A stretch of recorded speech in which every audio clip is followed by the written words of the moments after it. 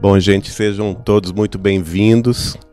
É, o som desse microfone não é para o som ambiente, é para gravação, tá certo? Nós estamos iniciando hoje esse grupo de estudos, é, cujo foco vai ser o caráter da revelação espírita. E a proposta nossa é uma proposta de grupo de estudos aberto, com participação de todos, tá certo? Então, a, a, a partir do momento que a gente for estudando os assuntos propostos por Allan Kardec no livro A Gênese, é o primeiro capítulo do livro A Gênese, os milagres e as predições segundo o Espiritismo, o livro que este mês de janeiro está completando 150 anos de existência. Portanto, é, é uma homenagem também, né? A nossa reunião é uma homenagem ao codificador espírita Allan Kardec pelo trabalho hercúleo que ele desenvolveu ao codificar os ensinamentos espirituais, eh, o corpo doutrinário do Espiritismo. Então, esse é o nosso objetivo: reunir aqui companheiros, amigos interessados no estudo desse tema, para que a gente possa compreender o que é o Espiritismo. Né? A gente não vai estudar, por exemplo, o livro A Gênese inteiro, não. A proposta é estudando tópicos da obra de Kardec, da obra básica de Allan Kardec, para que a gente compreenda o que é o Espiritismo e o que o Espiritismo pode significar na nossa vida e também na humanidade, tá certo? Mas antes é, é, de nós fazermos a a prece inicial, eu vou me apresentar, é Geraldo Lemos Neto, eu sou um dos coordenadores da reunião, o Carlos Henrique Silva Malab também aqui ao meu lado, e o Luiz Sérgio Marota, nós três seremos o, os coordenadores da, dessa reunião. Ah, sim. Para o pessoal da internet, da, da web, que está sendo transmitido e gravado, é a primeira palestra pública do Grupo Espírita Saber Amar, que foi inaugurado uh, em novembro com o lançamento do livro do nosso querido amigo Marco Paulo Denuti de Espírito, o Apocalipse segundo o Espiritismo, e já tem uma reunião que ele desenvolve às quintas-feiras, mas a terça-feira hoje é a primeira reunião. Né? Então todos sejam bem-vindos, tanto aqui na carne, presencialmente, quanto no mundo espiritual e também na internet. Mas antes vamos fazer a nossa prece inicial, pedir a Jesus que nos abençoe, e eu vou pedir o nosso amigo Henrique Lisboa que faça a prece em nome de todos nós.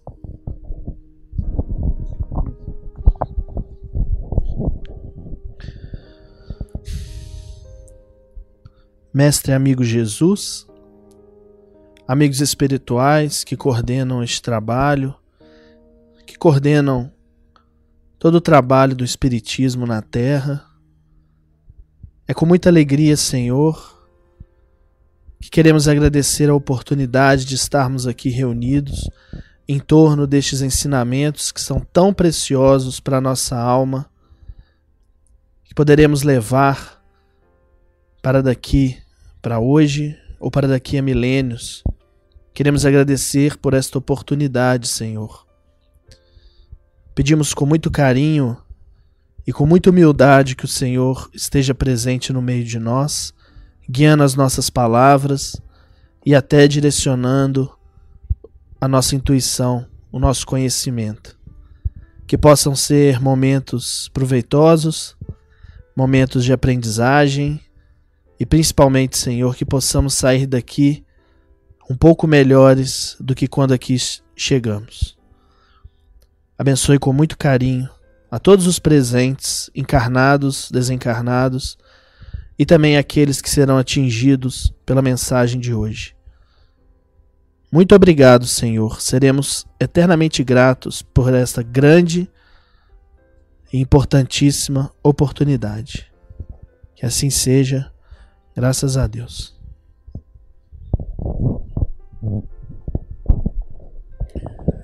Bom, gente, conforme nós havíamos combinado, ah, começaremos então o estudo do capítulo 1 da Gênese de Kardec, que é o caráter da revelação espírita. No item primeiro, Kardec vai fazer uma série de perguntas. Eu vou deixar essas perguntas no ar, não é? E, e, e se alguém quiser falar, quiser colaborar, fica à vontade também, né, para falar.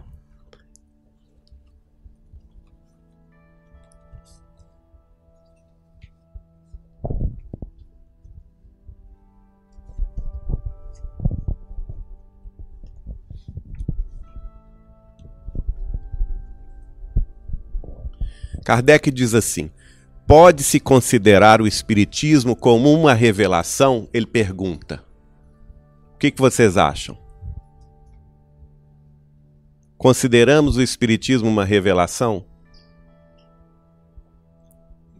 A Márcia Vilma acha que sim. Muito bem. Neste caso, qual é o seu caráter? Em que se funda a sua autenticidade? a quem e de que maneira ela foi feita. A doutrina espírita é uma revelação no sentido teológico da palavra, isto é, o produto do ensino oculto vindo do alto?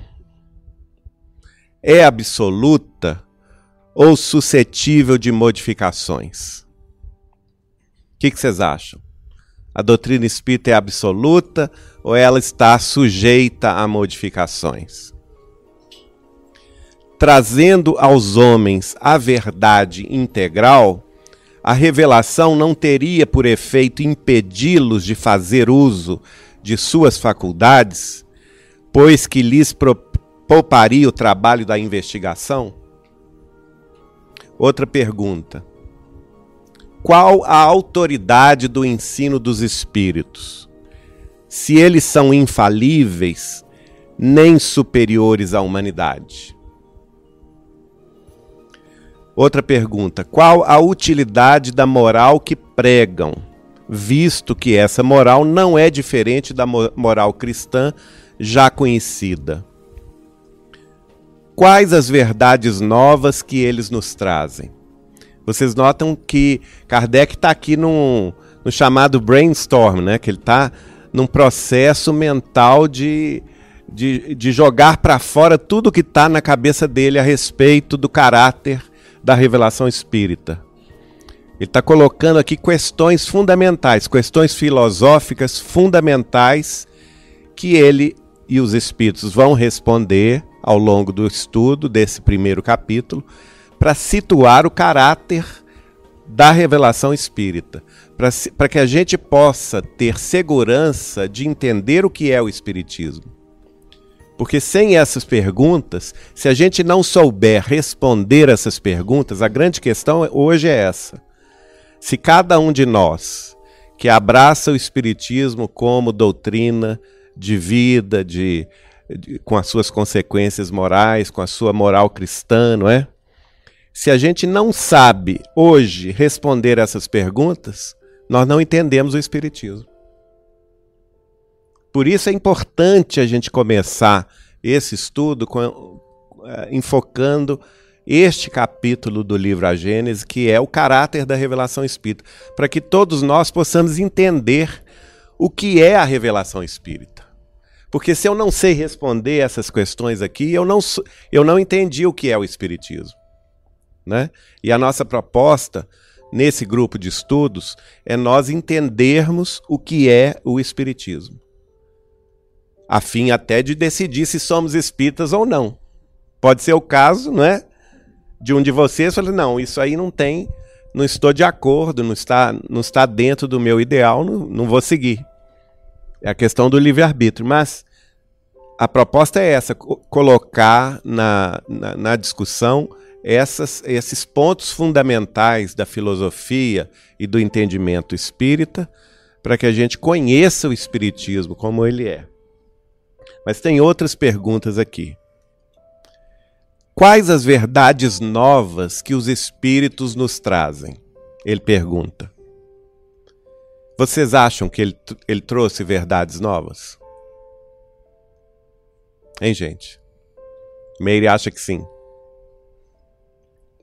muitas verdades novas. Né? A humanidade já estava amadurecida em meados do século XIX, quando Kardec começou a trabalhar e trouxe o Espiritismo para nós. O homem precisará de uma revelação? É outra pergunta que ele traz. Nós, seres humanos, aqui em pleno século XXI, nós precisamos de revelação? A Lilian está achando que sim, né, Lilian? Claro, a gente precisa. Eu vou falar sobre isso aqui um pouquinho. E não poderá achar em si mesmo o homem ou a mulher não poderá achar em si mesmo e em sua consciência tudo quanto lhe é necessário para se conduzir na vida sozinho? O que, vocês acham? A gente é capaz de achar dentro de nós mesmos todas as respostas? Não. Não é à toa que a humanidade so sofre esse sentimento de desamparo, né? de essa, essa profunda solidão, uh, o desespero, a tristeza, a depressão. Por quê? Porque não encontra em si as respostas para tudo. É preciso saber buscar as respostas, né? Outra pergunta. É... Não, essa eu já falei. Aí ele, ele resume: tais as questões que devemos considerar. Quer dizer, Kardec vai colocar todas essas perguntas no item 1 do capítulo 1 do Caráter da Revelação Espírita, mostrando para nós perguntas filosóficas fundamentais para que a gente saiba, estude-as, para que a gente busque a resposta dessas perguntas, para que a gente tenha um entendimento do que seja a doutrina espírita. Sem esse entendimento, nós não sabemos o que é o espiritismo. Essa que é a questão. Agora eu queria falar um pouco sobre essa parte aqui, que é a, quando ele fala da verdade e da revelação. Ele pergunta: quais as verdades novas que, que os Espíritos nos trazem? O homem precisará de uma revelação? Aí eu, eu, o, o, Marco Paulo fez um trabalho interessante que ele apresentou na União Espírita Mineira há uns dias atrás. E ele pesquisou duas coisas aqui sobre a verdade e sobre a revelação, que eu vou ler para vocês. É uma comunicação do espírito de Pascal. Na época, ele se comunicou com Kardec. Kardec colocou essa comunicação na Revista Espírita de maio de 1865 ele fala duas coisas.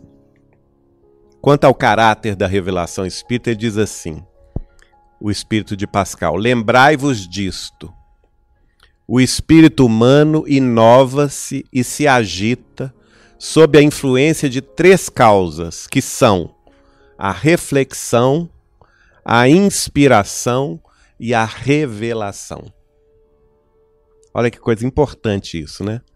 Nós, espíritos humanos, nós nos movimentamos, agitamos, evoluímos, conhece, buscamos conhecer a verdade, a vida, uh, buscamos nos, nos, relacionar com os outros baseados em três pilares, três pontos principais, que são a reflexão nossa própria.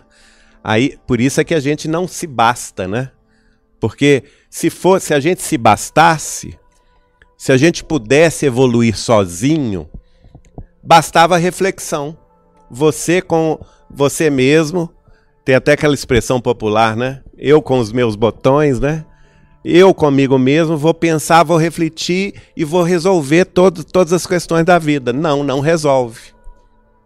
Porque aí você vai continuar com esse desamparo, com, essa, com esse sentimento de solidão, de, de, é, de solitude também, né? Às vezes não é solidão, mas é a solitude. Uma coisa muito ligada ao ego, né? Então a reflexão é importante, mas não está sozinha, segundo Pascal. A inspiração é o segundo ponto. Porque na inspiração, o que, que significa inspiração? Nós nos inspiramos nos exemplos dos outros. Tanto aqui encarnados quanto desencarnados, nós o homem é um ser social, né? Nós somos seres sociais, nós vivemos em sociedade, nós nos relacionamos com os outros. E ao nos relacionar com os outros, o, a, a, vivência, a prática, os ensinamentos dos outros, da vida alheia, dos conhecimentos alheios, dos sentimentos alheios, nos, nos influenciam também. Nos acabam é, é, formando em nós também reações, né? ações e reações nas quais nós nos espelhamos na, nas experiências alheias, a começar do berço, né, em que a criança vai se espelhar nos pais e assim sucessivamente, como também os outros vão se espelhar nos nossos, nas nossas vivências e no, na, no, nas nossas conquistas. Então, é, é, a inspiração diz respeito à comunhão de ideias, de pensamentos e sentimentos entre nós. Mas também não basta aí, né? Pascal fala a, a primeira reflexão, que é, que é o ego, a própria pessoa, a inspiração, que é a sociedade, a convivência em sociedade, e ele fala na revelação. Olha que importante isso. Então nós precisamos, sim, respondendo aí a pergunta de Kardec, nós precisamos sim da revelação, que é a parte que vem de cima, não é? A parte que vem da inspiração superior. E, e tem muita ligação com a verdade, porque a verdade é, ele, ele vai falando sobre a revelação, ele diz assim no, no item seguinte: a revelação é rara e dada ordinariamente como recompensa à fé sincera e ao coração devotado. Então aí tem uma questão, né? A revelação não está disponível para todo mundo. Por quê? É aquela questão de Jesus, quando ele nos convoca a, a buscar a revelação, porque ele diz assim: Batei a porta e a porta se vos abrirá. Né? Buscai e achareis. Quer dizer, pedi e obtereis. Esse movimento tem que partir de nós. Não adianta a gente ficar de braço cruzado, esperando que a verdade surja diante de nós, se a gente não faz um movimento de buscá-la, se a gente não faz um movimento de pedir para conhecer, se a gente não faz aquele movimento de bater na porta da verdade, de certa forma, o que, que isso indica para nós? Que a verdade ela está velada, ela está fechada e ela só só é aberta no momento que nós buscamos revelá-la. O que significa a palavra revelação? Tirar o véu, né? Então é, é esse por isso que ela é muito essa parte é muito importante, não é? Porque é o ser humano saindo do terra a terra, saindo com todo respeito da nossa mediocridade humana, eu não estou aqui falando a mediocridade no sentido negativo, não. Estou sentindo no sentido de cotidiano, do, no, do nosso movimento cotidiano, que é acordar todo dia, que é tomar banho, que é tomar café, que é ir trabalhar, cuidar da, da família, dos filhos, né? depois vai para o trabalho, cuida das obrigações cotidianas do trabalho, volta para casa cansado. Né? Isso aí todo mundo faz todo dia. Isso é a, é o cotidiano, né? Então esses três, esses três é, pilares básicos, que é a reflexão, a inspiração e a revelação, vão nos dar então o conhecimento superior. Pois não?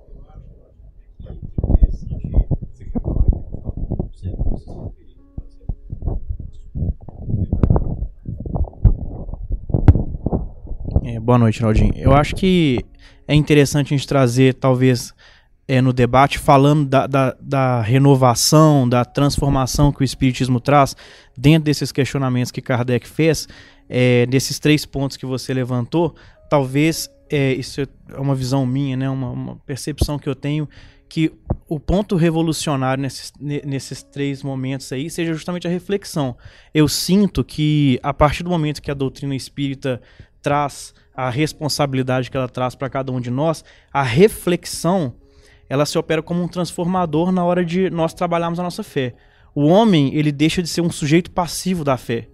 Né? A gente não está mais sendo educado na fé. Eu acho que até então a gente buscava a educação ser lecionado na fé. E agora existe uma responsabilidade de busca, de debate, é, de internalização da, da fé e dos preceitos. Então, apesar do cristianismo ser o mesmo, seguirmos, né, foi mencionado aí que, vamos dizer, as diretrizes cristãs maiores permanecem, a forma que nós dever, devemos nos posicionar diante disso se torna mais ativa. Nós não somos mais sujeitos passivos da fé, como pessoas que estão ali, acorda, vai à missa, escuta a palavra e vai embora. Mas reflexivos, eu preciso absorver aquilo, eu preciso me posicionar diante daquilo e eu preciso me tornar cristão nas minhas ações cotidianas, no que eu faço. Então eu sinto que nós deixamos o posto de observadores e passamos a ser questionadores, filósofos. Eu acho que a grande transformação aí talvez seja a zetética, em oposição a uma dogmática anterior. Então a gente não mais se sujeita às palavras e se leciona, a gente agora questiona, a gente precisa aprender, a gente precisa incorporar. Essa é uma visão que eu tenho com relação a esses três pontos. Gente, a palavra está aberta. Alguém quer falar alguma coisa? Eu tô total, o objetivo é esse. Totalmente de acordo com você. A reflexão da sobre os, as três partes, né? Da parte que vem de cima, que é a revelação, da parte que a gente aprende com os outros, que é a parte humana. Imagina quantos livros foram escritos sobre cristianismo e sobre espiritismo, escrito por seres humanos aqui encarnados, né? Quer dizer, nós temos à disposição nossa um conhecimento muito vasto inúmeros, centenas de livros, sem contar na parte revelatória, que são os livros mediúnicos. Por exemplo, só Chico Xavier, 506 livros até hoje publicados. Olha só, é muita coisa, né? Allan Kardec, se, se a gente for contar a revista espírita, cada, cada ano um livro, e os livros menores que ele publicou foram 30 livros, Allan Kardec. Chico Xavier, 506 livros até hoje. Quer dizer, usar isso para refletir o, o ser humano como entidade ativa na transformação do mundo é essencial. Geraldinho, é, você falou num ponto que é muito importante. Você tocou no último ponto que você tocou é muito importante, que é a da vivência prática. Né? Porque é, é, ouvindo você aqui falar, eu imaginava sobre o nosso dia a dia, como você falou. Né? Mas o nosso dia a dia, sem ele refletir a nossa transformação, ele não vai refletir ganho nenhum para a gente. Né? Porque, imagina, como você comentou, nós estamos aqui quantas vezes retornando à Terra para aprender, né? e só aprendemos realmente quando nós fazemos. Então, quando chega um professor, nos dá uma lição e mostra para lá, né? Passa, na lousa uma lição. A gente vai, copia aquilo, vai pensando naquilo, né? Mas quando nós temos que fazer, o, retirar daquilo um resultado, é que aquilo se fixa dentro de nós. Então é a mesma coisa com a doutrina espírita. A doutrina espírita, como Kardec está colocando aqui, e que você colocou muito bem sobre esse último ponto, né, da revelação e da, da praticidade, ela vem nos mostrar o caminho real do nosso dia a dia, da aplicação do dia a dia. Né? Jesus já nos ensinava, né? Jesus nos ensinava que nós devemos amar o próximo como a nós mesmos, que nós devemos é, é, voltar a nossa atenção para não nos sentarmos na primeira cadeira, mas na última. Né? Que, quer dizer, não exaltarmos a nossa personalidade e sim pro, procurarmos utilizar a nossa personalidade em prol do próximo, porque com isso nós estamos tendo ganho de aprender a relacionar com o próximo e crescer. Né? Então a doutrina traz essa fortaleza para a gente. Né? Então, esse ponto que você tocou, eu achei essencial destacar a questão. A doutrina espírita não é uma doutrina que é para ficar no livro. Né? Não é para ficar ali na estante pendurada, colocada lá, bonitinho. Às vezes não é bonita, né? bonita, você chega ali, abre o livro, ah, hoje nós vamos ler a doutrina, tá? Pum, fechou o livro, pronto. Não. Ela é uma doutrina prática. Ela põe em prática aquilo que nós necessitamos no nosso dia a dia, na nossa vida. Né? E, e, isso é que é importante. Isso que é aí que está a beleza, né? Está a beleza. Por quê? Porque antes a gente não via como que os espíritos influenciam na nossa vida.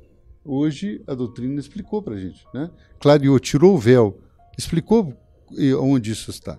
Então acho que é, um, é só uma pontinha que eu acho que você continua aí com o Luiz, mas é uma pontinha do que nós temos aí da doutrina espírita. Com certeza. Eu acho que o ponto abordado pelo João é um ponto de vital importância para a gente compreender algumas coisas sobre o espiritismo. Primeiro porque quando se trata de uma revelação, nós estamos tentando falar de verdade. Allan Kardec faz a vinculação da revelação com a verdade, não é? Que se uma revelação, revelação é, em última instância, falsa, ela acaba não sendo uma revelação. Então, a investigação no campo espírita, inclusive lá no chão do espiritismo, da fenomenologia, né, ela tem um propósito, um propósito de se auferir as revelações que vêm por meio, por exemplo, da mediunidade como sendo uma verdade. Então, se você vai pesquisar de boa mente a mediunidade aí fora, você vai encontrar evidência. Todo bom cientista, cético de mente aberta que foi fazer isso encontrou evidência. Telepatia, mediunidade, etc. Encontrar evidência. Reencarnação, professor Ian Stevenson da Faculdade de Virgínia encontrou se não encontrasse, a gente poderia até raciocinar, mas estaríamos, estaríamos só nas elucubrações. Mas as evidências mediúnicas, as evidências das revelações são grandes. Então, quando se trata de verdades e revelação de verdades, quando você as lê e você as absorve, você está se comprometendo de forma muito mais, vamos dizer assim, contundente no aspecto do raciocínio do que simplesmente se fosse um tratado teológico resolvido em mesas teológicas que muda de século em século. Galileu Galilei, né, com a sua revelação, mudou a teologia toda de uma igreja. 80% foi para o ralo. Quer dizer, tinha muita coisa ali que não era condizente com verdades, né? Então isso é muito importante até para a gente entender mais que o espiritismo ele já nos lança uma luz e essa luz já nos deixa numa condição um pouco mais delicada, entendeu? Porque quando você está acessando um dogma teológico, você pode até desistir de ser, ah, não vou sair dessa igreja, vou para outra, para outro dogma. Mas quando esse, entre aspas, dogma está se referindo a uma verdade da vida, da natureza, você fica um pouquinho mais sem muita opção, senão se está se iluminando e essa iluminação vai gerar efeito na sua postura perante a vida. Ou você começa a se caminhar para seguir aquele caminho, ou você vai se sentir mal. Algumas ações, o famoso espinho na carne vai começar a doer mais, né? Porque, como disse, teve um espírito que não me lembro agora, e fala assim: a luz ilumina irremediavelmente. Então, uma vez que você é um cirurgião e você descobriu que fazer a sepsia das mãos é vital para que você faça uma operação bem sucedida, sem grandes riscos, o dia que você não as lavar, você vai se sentir culpado. Você não vai se sentir bem. Né? E isso é uma das grandes ferramentas morais que o conhecimento da verdade nos traz. Agora, como disse Allan Kardec, uma das doutrinas mais difíceis, a doutrina mais difícil, segundo ele, e é por isso que a gente corre dela. o conhecimento espírita, ainda mais aquele que traz as evidências. Quer ver uma, uma, uma literatura que as pessoas, né, a gente de vez em quando abre, vai embora, fecha o livro? André Luiz. Porque ele baseia e fundamenta a doutrina moral cristã de Jesus de uma forma factual, descritiva, operacional e prática. Sem falar em dogmas teológicos nem nada. É o prático. Né? Então, assim, e é por isso muitas vezes nós vimos, às vezes, pessoas realmente que, não, André Luiz, não, deixa pra lá, aquela coisa toda, né? Isso acontece. E a gente até compreende, porque não é uma coisa fácil você entrar em contato com as verdades como elas são. E o Espiritismo ele tem esse caráter revelacional sim, exatamente porque ele busca a verdade. como os cientistas hoje da paranormalidade, hoje nos Estados Unidos, por exemplo, chamam de truth seekers, quer dizer, buscadores de verdade. E o espírita é esse buscador de verdade. Ele é um investigador por excelência e pedagogo, porque esse é o caráter do espiritismo. Que, segundo Emmanuel, cristianizada a criatura humana, não vai precisar mais de creche, não vão precisar mais de orfanato, não vão precisar mais de institutos de caridade, porque o ser humano vai estar dando conta do recado. Né? Então, o objetivo é a iluminação da criatura. E essa iluminação vem através desse processo que o João está falando. Ó. É a busca da essência do ensino cristão, não do cristianismo como tradição teológica dos, dos conchavos e dos concílios históricos institucionais, cheios, obviamente, de erros com, com, nos séculos, né? mas sim né, de, da busca da essência do ensino cristão, que na verdade é o amor, uma lei soberana e que a gente vai ter que dar uma suadinha para começar a cumpri-la, né? Então isso é muito interessante colocar aqui, né, gente? Porque às vezes as pessoas falam assim, oh, engraçado, espiritualistas, às vezes as pessoas espiritualistas falam assim, vocês não deviam mexer com o cristianismo? Cristianismo é uma coisa muito errada, por que, que vocês são espiritualista e cristão? O cristão chega, vocês não deviam mexer com o espírito? que cristianismo. a questão é a seguinte: é só lembrar que o cristianismo espírita não se reporta ou não se baseia, fundamenta na tradição teológica cristã vigente desde os concílios de Nicéia para cá. É claro, ele escolhe as boas tradições e as perpetua, com certeza. Mas o fundamento dele é através da revelação dos espíritos, que eles que não precisavam mais de obedecer a contingências de é, interesse político, interesse pessoal, com facilidade chegava do após-morte e falava assim: olha, a coisa não é bem assim, não, gente. Eu escrevi aquela teologia lá no século XVII, mas eu acho que a coisa, pelo que aconteceu aqui, foi bem diferente. Então, deixa eu corrigir aqui e falar para vocês como é que é. Por isso, a revelação espírita foi tão importante para a gente ressuscitar a essência do ensino cristão. Alguém quer comentar?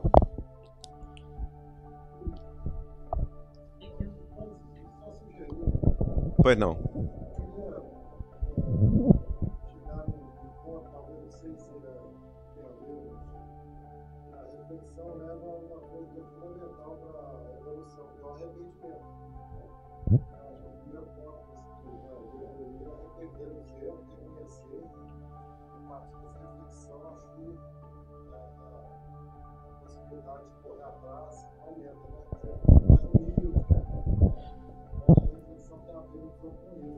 Tá bem. O Pedro Aristide está comentando, eu tô só para transmitir aqui para o nosso pessoal da, da internet. O Pedro Aristide está comentando que é importante que se diga que a revelação e a, a reflexão tem que levar a criatura ao arrependimento, não é isso? A, a, a, a ele se arrepender de um caminho que tenha tomado uh, de desvio e, e com isso pedir desculpas, voltar às origens, né? voltar a, ao caminho reto. Quer dizer, esse, esse trabalho de arrependimento faz parte do amadurecimento humano, não é isso? É, sem dúvida nenhuma. Isso, aí, isso é fundamental. Tem a ver com o que o Malab e o Luiz falaram aqui, que essa, essa transformação moral ela precisa acontecer. Porque se ela não, não acontece, nós não, não estamos sendo verdadeiros espíritas. Né? É, Kardec vai comentar num, numa, num dos trechos que os espíritos escreveram para ele que reconhece-se o verdadeiro espírita pela transformação moral de si, si próprio. Né? pelos esforços que ele empreende em domar as más tendências, porque todos nós so, nós temos tendências humanas, tendências negativas. Eu me lembro que numa conversa com Chico Xavier um dia, ele falou comigo assim: Geraldinho, nós, seres humanos, somos seres com alto grau de periculosidade. Olha que interessante a fala do Chico, né? E a única forma no mundo para domar essa peri pericula periculosidade chama-se religião. Uma religião, seja ela qual seja, mas no sentido fundamental, que é religar a criatura a, Deus, né? que é a, a criatura se voltar ao superior e buscar no superior, no Pai, aquele apoio, aquela instrução. E não tem como fazer isso sem arrependimento, né? Sem, sem, é, sem a gente se arrepender dos caminhos enganosos e tomar um outro rumo. Mas deixa eu, eu dar uma leitura. Um exemplo aqui, me ocorreu aqui. É, é só como exemplo assim, aquilo que você desconhece, muitas vezes você teme, né? porque você desconhece o que acontece. E aqui você falando, me ocorreu, lembrou um exemplo aqui disso aí, que é, é, quando foram instalar os telefones nas pequenas cidades, né? ninguém conhecia o telefone. Então chegava os técnicos lá para instalar o telefone, chegava lá, e aí colocava o telefone em cima da mesa. Ah, ninguém conhecia o telefone, estava lá o telefone em cima da mesa. Aí o telefone tocava. Sabe o que acontecia? O pessoal corria. É, de medo do telefone. Porque tocava aquilo ali, nunca viu tocar, e corria de medo do telefone. E agora a gente vê que o telefone é um negócio né? Agora até acabou, não existe esse telefone de mesa, né?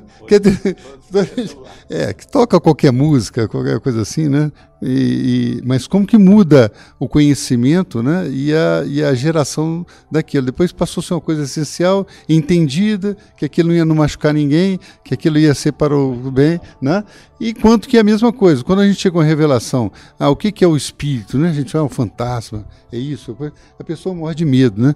Mas começa, e, e aliás, mesmo quem sabe ainda tem medo, né? É, é. mas é, mesmo quem entende isso tudo. Na verdade, é que a gente vai vendo a revelação, entendendo ela vai sendo entrando dentro de nós, aquilo vai ficando mais eh, comum, natural e vai nos ajudar a conviver no outro plano com aquele conhecimento. Né? Só...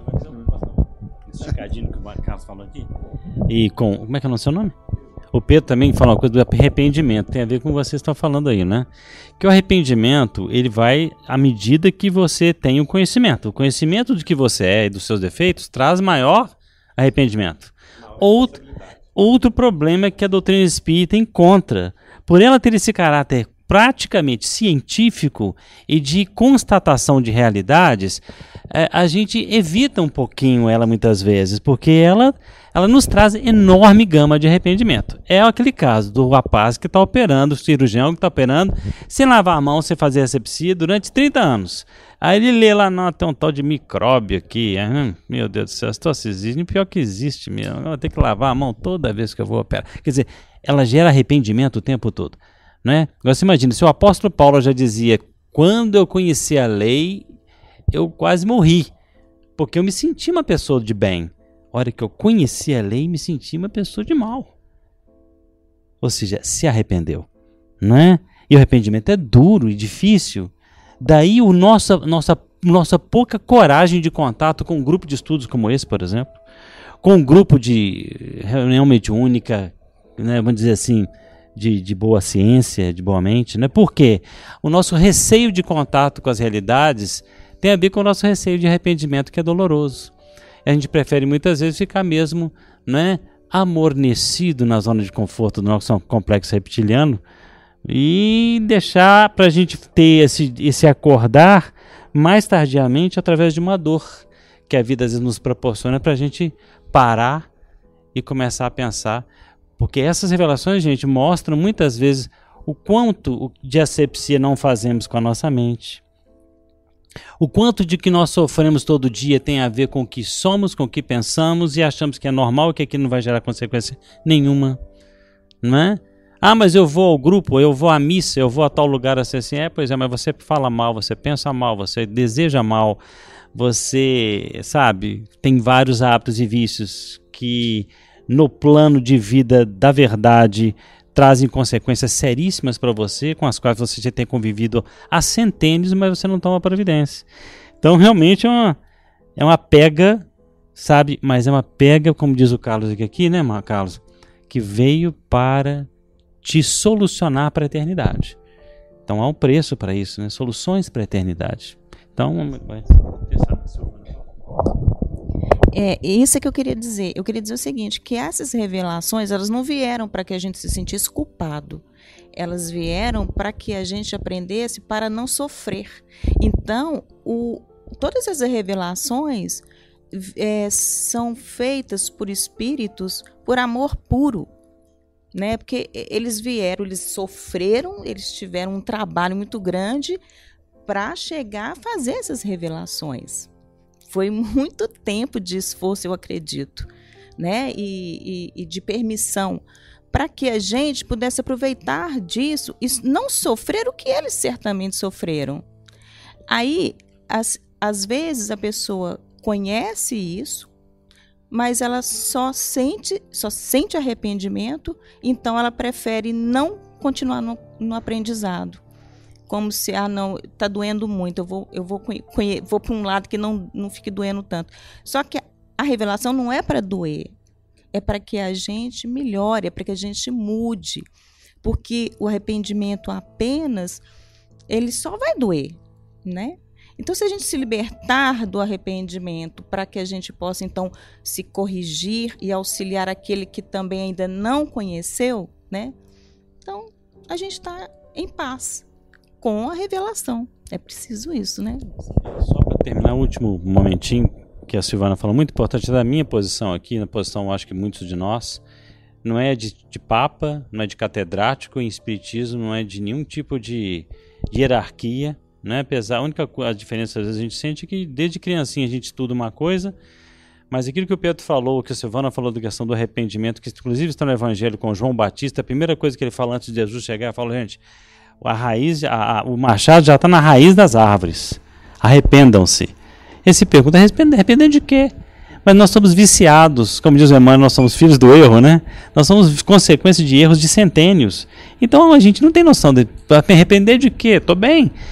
Mas esses conhecimentos nos trazem o grau de inferioridade que ainda em que estamos ainda. E para ir para esse reconhecimento, a gente tem que lutar por uma virtude, a mãe delas, a humildade. Quanto menos humilde a gente for, isso mais dificuldade a gente vai ter para acessar conhecimentos revelacionais, que você não vai se sentir o bambambam. Bam, bam. Ao contrário, muitas vezes você vai se sentir o mendigo do mundo, porque você, meu Deus, há quanto defeito. E não desistir, como diz né, o, o santo é aquele que o pecador que não desistiu, né? Um dia a gente chega lá.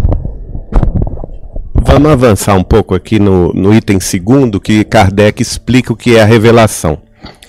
Definamos primeiro, diz Kardec, o sentido da palavra revelação. Revelar vem do latim revelare, cuja raiz velum, véu, significa literalmente sair de sob o véu, e figuradamente descobrir, dar a conhecer uma coisa secreta ou desconhecida. Olha só, então a, o caráter, da, da, do, o sentido da palavra revelação é dar a conhecer algo que era desconhecido, não é? É tirar o véu a um conhecimento que estava obscurecido ou que não estava à mostra. E isso só se faz pelo esforço. Pelo esforço humano aqui na Terra e pelo esforço dos espíritos superiores no mundo espiritual. Não tem outra maneira de, de se revelar uma verdade. E aqui ele vai. É muito importante essa parte, porque ele vai dizer, por exemplo, que os cientistas são reveladores. Os músicos são reveladores. Porque estão revelando uma harmonia sublime. Não é? O, o, os, os filósofos são reveladores. E também a, o, a, na parte religiosa, os inspirados de toda sorte, que no, no Espiritismo nós chamamos de médiums, que trabalham com a conexão é, junto aos espíritos, recebendo também revelações. Então vamos, vamos ver lá o que ele diz. Em sua acepção vulgar mais genérica, disse de toda coisa ignorada que é divulgada de qualquer ideia nova que nos põe ao corrente do que não sabíamos. Então, por isso que aqui a gente fica muito claro para nós que o Espiritismo é uma revelação. Por quê? Porque somente a partir do trabalho de Kardec, no século XIX, é que nós vamos descortinar, né, tirar o véu de determinados princípios fundamentais para a evolução humana e para a compreensão da nossa realidade espiritual. Um deles, por exemplo, é a comunicabilidade dos espíritos, né? A mediunidade. Antes de Kardec, a mediunidade, a, o dom espiritual do contato com os espíritos desencarnados estava encoberto no véu do mistério, do maravilhoso, né? Era o sobrenatural, era algo que estava fora do natural. E com a obra de Kardec, especialmente com a edição do Livro dos Médiuns, é, deixa de ser sobrenatural, passa a ser natural, passa a fazer parte, quer dizer, toda aquela elaboração mental dos espíritos, transmitindo os ensinamentos através de diversos médios e de Kardec e seus colaboradores, entendendo essas mensagens, codificando-as e transferindo-as para o livro dos médiuns, que é o primeiro tratado científico sobre o modus operandi, a maneira pela qual se opera a mediunidade, então se estabeleceu aí um novo conhecimento. Né? Então a mediunidade é fato, existe, e tem como nós, seres humanos comuns, lidarmos com ela. Né?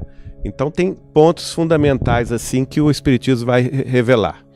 Mas vamos voltar aqui ao livro. Desse ponto de vista, todas as ciências que nos fazem conhecer os mistérios da natureza são revelações, e se pode dizer que há para a humanidade uma revelação incessante. Gente, isso aqui é fundamental porque mostra o caráter científico do Espiritismo. Enquanto outras escolas religiosas anteriores se afastaram da ciência, Kardec está nos dizendo que a ciência é revelatória. Então, todo campo do conhecimento humano todo campo científico humano faz parte da revelação, porque nada mais é do que a descoberta de algo que estava encoberto. Né? E aí que ele vai dar exemplo. A astronomia, por exemplo, revelou o mundo astral, que não conhecíamos. Notem bem como isso é dinâmico. Né? Na época de Kardec, no século XIX, não se conhecia a existência de outras galáxias. A astronomia aqui que ele está falando, a astronomia da época de Kardec, achava que tudo que se via aí no, no, à noite nos telescópios na, do nosso universo, tudo pertencia à Via Láctea, que é a nossa galáxia, a nossa cidade interestelar, né? E hoje, passados 160 anos da época de Kardec, a nossa astronomia moderna já chegou à conclusão que existem 2 trilhões de galáxias. 2 trilhões. É demais, né? Olha só, isso é o que? Isso é revelatório. Todo o esforço humano nos últimos 160 anos no campo da astronomia foi descortinando maravilhas a partir do trabalho de diversos cientistas no século final do século XIX, início do século XX, Einstein, Bohr, uh, Nielsen e outros mais, né, que foram eh, pesquisando eh, conhecimentos novos, uh, Hubble, né, o surgimento da física quântica, da mecânica quântica, da astrofísica que não existia antes, né? E a coisa foi de tal forma que hoje o, o ser humano está mandando é, é, naves para descortinar todos os cantos do sistema solar. E cada vez mais nós nos maravilhamos dessas descobertas. Por exemplo, a mais recente, esta semana, né, passada, hoje é terça-feira, final da semana passada, a NASA descobriu uma enorme camada de água congelada em todo o planeta Marte. Água congelada no solo lunar. Chegou-se a essa conclusão pelos. Aliás, no solo marciano. No solo marciano, lá em Marte. 1935, Chico Xavier publica um livro chamado Cartas de uma Morta. A mãe dele se comunicando com ele, falando exatamente isso que no solo lunar tinha muita água. Dois anos depois, Humberto de Campos. Ah, desculpa. Mas ela fala no lunar também. É. Não, o lunar já foi descoberto há uns dois anos, né? O lunar já se sabia há uns dois anos. Mas a de Marte ela fala nisso. E Humberto de Campos, em 1937, no livro Novas Mensagens, vai descrever a viagem que ele fez a Marte. E ele vai falar exatamente isso: que a água no solo lunar se infiltrou, no solo marciano, se infiltrou no solo e, e, e, e se congelou, se, se formou uma, uma camada interna. Olha que coisa interessante, que os oceanos não são em Marte é, à vista como aqui na Terra, porque eles se infiltraram no solo, né? E a, a, a NASA descobrindo isso. Eu acho muito interessante. E mostrando também o caráter revelatório da ciência, né? Que aos poucos nós vamos chegando lá. Kardec fala assim: a geologia revelou a formação da Terra. Outro tipo de reveladores, os geólogos. A química, a lei das afinidades, a fisiologia, a função do organismo, etc. Assim, Copérnico, Galileu, Newton, Laplace, Lavoisier foram todos reveladores, né? Quer dizer, o cientista, ele é, ele faz parte da revelação também.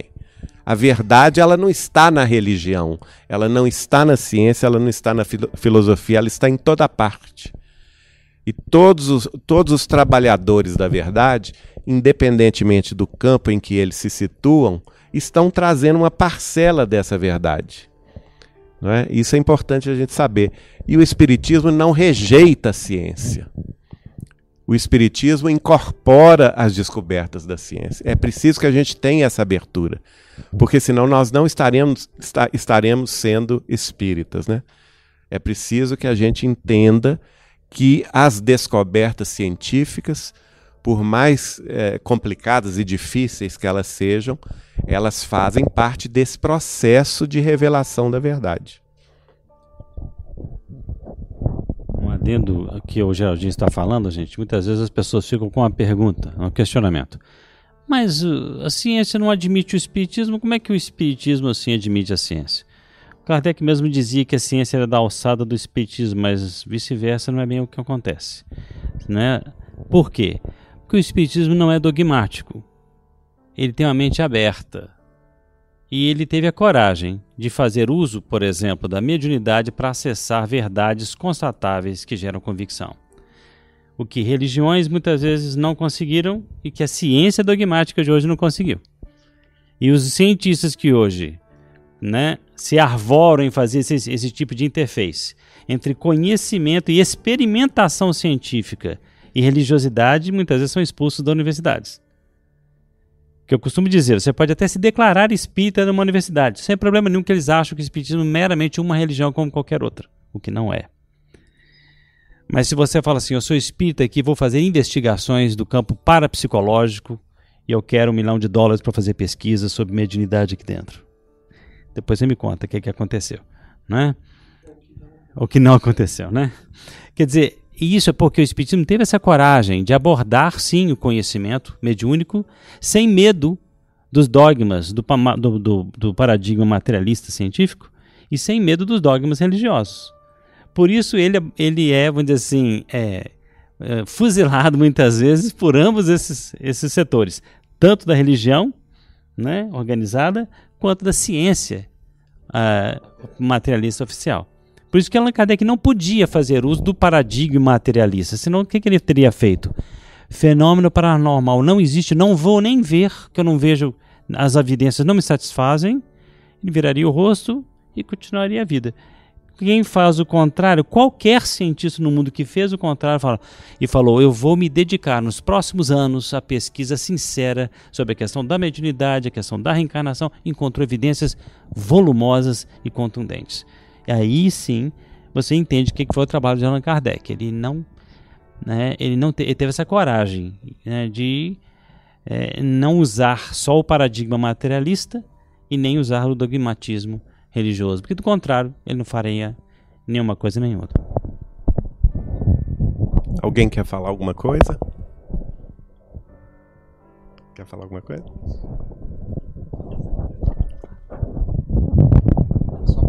Relação a esse comentário que ele fez de uma universidade, Uma experiência que eu achei muito interessante foi um dos, da, dos congressos da Associação Médico Espírita, que foi feito na Universidade Federal do Rio Grande do Sul. E no final nós recebemos até um, um certificado de curso de extensão. Então foi uma. Eles conseguiram um progresso naquilo ali. Reconhecido. E ainda foi mais interessante que a abertura do congresso foi por é, dois monges budistas. Então foi um, foi um congresso muito interessante, é só complementando isso.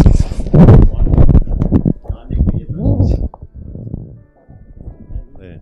O que mostra que a, bu a busca do conhecimento não pode ter barreiras, não pode ter muros de separatividade, né?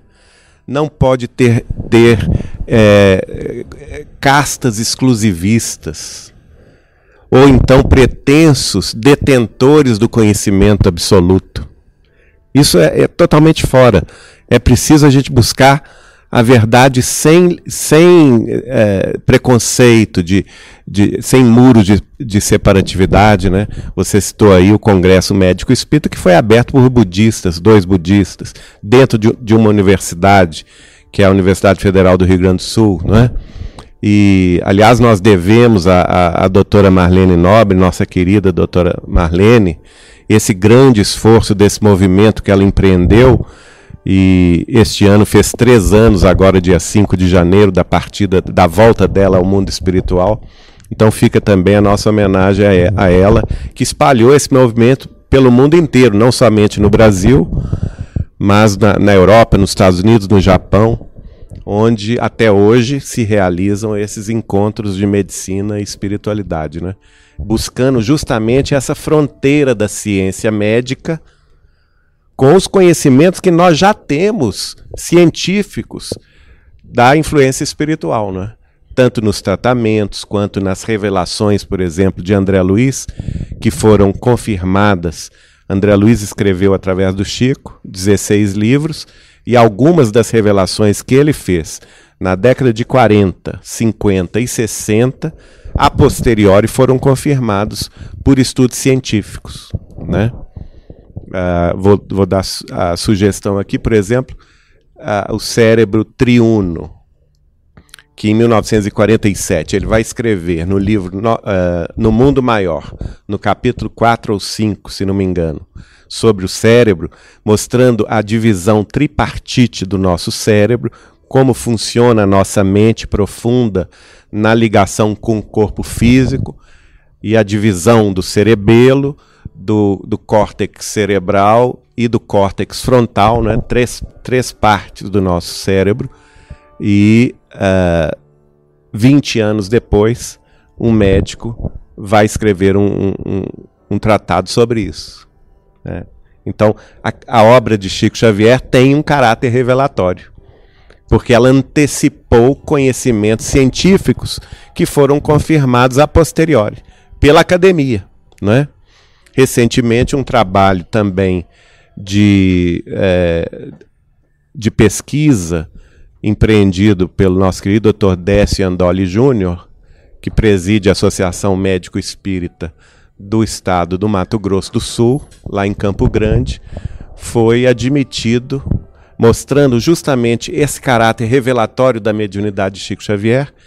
O trabalho dele foi admitido numa revista médica, científica médica, sobre é, essa questão, publicado numa revista científica, né, que aceitou o trabalho como autêntico, mostrando aí é, essa, esse caráter antecipatório da mediunidade de Chico Xavier a respeito de, de conhecimentos científicos que foram confirmados. O livro Evolução em Dois Mundos. É. É, assim, se a gente for dar exemplo, vamos ficar aqui, não é? Muito tempo. Mas é muito importante isso. Como é que nós estamos de horário? Estamos em cima da hora. É muito importante isso, porque faz parte, mo mostra que o, a, o caráter da revelação espírita tem tudo isso, né? Tem esse esforço é, humano, da reflexão. A reflexão, essa que o João falou, essa que o Pedro falou, é, a, a, nossa, a, a, Silvana falou, a nossa busca de, de se autoconhecer, mas sozinhos nós não chegamos a lugar nenhum. Nós precisamos uns dos outros, Aí vem a questão da inspiração. A gente se inspira no, nos exemplos dos outros e nós não podemos relegar ao abandono, ao esquecimento, o caráter revelatório, que é o que vem de cima, tanto no campo científico quanto no campo religioso. Não é à toa que o Espírito da Verdade, ao se manifestar para Kardec, está lá no capítulo 6 do Evangelho segundo o Espiritismo. No item 6 tem uma mensagem escrita é, cujo título é O Cristo Consolador. E lá no, no meio dessa mensagem tem uma frase assim: Espíritas, amai-vos, eis o primeiro ensinamento. Instruí-vos, eis o segundo. Olha só, são as, é uma frase curta, né? Amai-vos e instruí-vos. Interessante, ele não fala instruí-vos em espiritismo, não. Instruí-vos em todos os assuntos, em todos os aspectos, nos aspectos filosóficos, nos aspectos religiosos, nos aspectos científicos. Nós só vamos caminhar se a gente buscar o conhecimento, se a gente se aperfeiçoar. Claro que é, isso aí está claro, vai ter, vai ter outra consequência e muito clara, né? Porque cá entre nós, numa vida aqui de 50, 80 ou 100 anos de idade aqui na Terra, a gente vai conhe conhecer tudo? É possível? Vocês acham possível? Eu vou ser astrônomo, eu vou ser médico, eu vou ser músico, eu vou ser administrador, eu vou ser político, eu vou ser é, arquiteto. Não tem jeito, né? Engenheiro, não tem jeito. O que, que acontece? Nós precisamos de muitas vidas. É uma consequência lógica. Para atingirmos a verdade, uma vida só é muito pouco. E a gente que já viveu mais sabe o quão rápido passa a vida, né? Eu, eu, já, eu já passei da minha metade da existência para lá, então, nossa, passa rápido demais, de muito rápido. Então, o, o, o tempo que nós temos aqui é muito curto. Nós haveremos de precisar de muitas encarnações para atingir essa, essa sabedoria e esse amor que a gente precisa atingir na nossa elevação e no nosso caminho para Deus.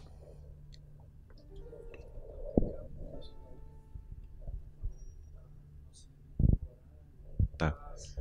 O Marco Ganda está aqui na, nos bastidores da gravação, né, Marco Ganda? Lembrando-nos que a reunião vai ser toda terça-feira, aqui no Grupo Espírita Saber Amar, é, com live no Facebook, né? E não teve? Vai ser transmitido, tá. Então, tá. Quem quiser participar aqui em Belo Horizonte, na, na Avenida Álvares Cabral, 1777, no bairro Santo Agostinho, ao lado da Justiça Federal. Uh, o começo da reunião é 20 horas, de 20 horas às 21 horas. Estamos aqui para esse debate e também estudo para a gente conhecer o caráter da revelação espírita. Sejam todos muito bem-vindos. Né? Semana que vem a gente continua, já chegamos no nosso horário. Eu vou pedir a Solange que faça a prece final para nós.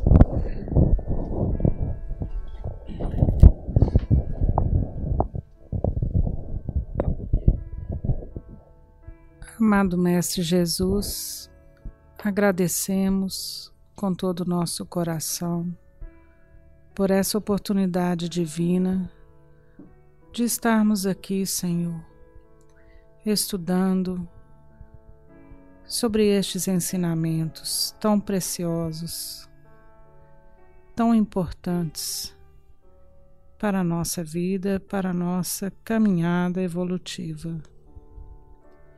Agradecemos, Senhor, a presença dos nossos amigos do plano maior que estão aqui conosco amorosamente, nos intuindo, nos dando todo esse apoio, esse acolhimento, fazendo que nossos corações possam se abrir para receber, Senhor, esses ensinamentos do nosso Mestre Jesus.